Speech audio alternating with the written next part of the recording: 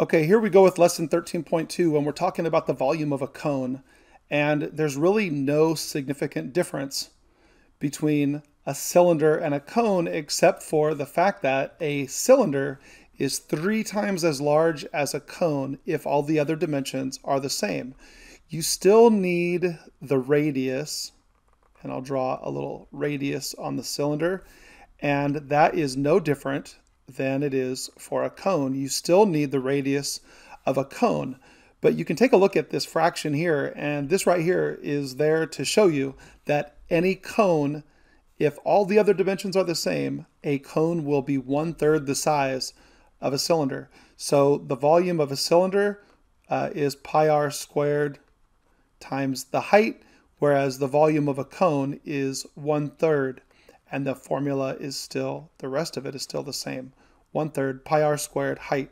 I'll go ahead and take myself off of the video and I'll split the screen and we'll do some problems and I'll show you how it looks in the calculator. Okay, here we are with the first example and I've got the screen split. Over here you can see what we're going to deal with in the calculator. And the first thing we want to start with is the formula. So the formula for a cone is that volume is one third times pi r squared times the height. And so we're going to go ahead and plug in some numbers here. We got 1 third times pi, which is 3.14. And then r squared, you can see r right here because it's already halfway across. The r is 2. So 2 squared and the height, which is 8 inches. So let's come over here to the calculator and we're going to use that a over b button for 1 over 3 and I'll do this all with my mouse. One third times 3.14. Oop, and it's going into the bottom there, so let's take that away. Forgot to click out. Let's click out there. Times 3.14. And it missed my decimal point, 0.14. Times 2 squared times 2, and I'm going to go ahead and use this a squared button, 2 squared times 8. There's my height. And my volume, we're going to round it off to 33 point. It's 49. We're going to just call it 33.5. 33.5. Uh, and it's cubic inches because it's volume. Now let's go ahead and, and we're just going to jump right over here and do this one. And I'll show you how fast this goes. Um, sometimes it just takes longer to write the formula, but I do want you to write the formula every time. Uh, volume is one third times pi r squared times height so the volume is one third times 3.14. Now this time they give us, they don't give us the radius, they give us the diameter. The 8 is all the way across. We got to divide that by 2.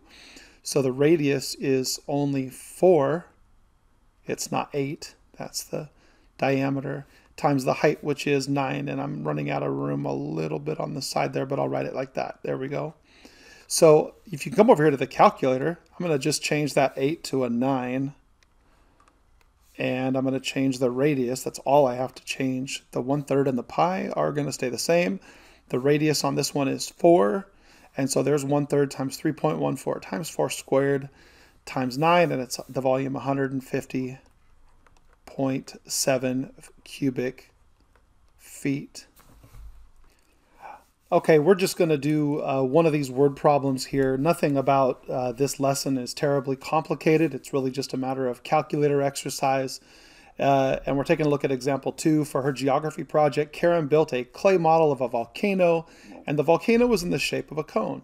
And so when it's in the shape of a cone, I know I got to use the volume of a cone formula, which is one third times pi r squared times height. And we already talked about the fact that we really only need to know what the radius is and uh, what the height is because I already know that one third is just one third and pi is just pi. So it's one third times 3.14 and you can see over here in the calculator I already have one third times 3.14 in the calculator. Those things will never change for this lesson, but I do need the radius squared. And it tells me that her model has a diameter. Uh oh the diameter, that's going to be the distance all the way across uh, the base, the diameter of the model is 12 inches, so the radius is half that. So the radius is 6 inches and it's squared and it tells me the height is 8. And so if I want to find the volume of this, I just need to come over here to the calculator and I'm going to add 6 squared times 8. That's my height. And the volume of this is 301.4 cubic inches. Inches cubed. And that's how big the volcano is. The rest of it's pretty simple, so I will wish you good luck. And make sure you show the formula, show the numbers, and then box your answer. These are the three steps that you need to show to finish this lesson for each problem.